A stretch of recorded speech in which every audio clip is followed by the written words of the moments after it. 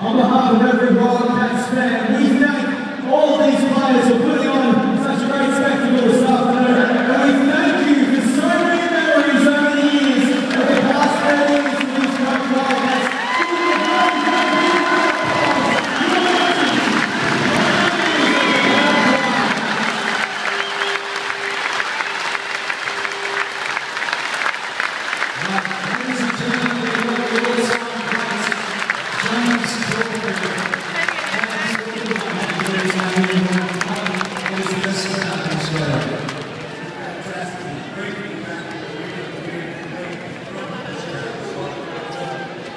So I can thank you for congratulating Montana and all of us.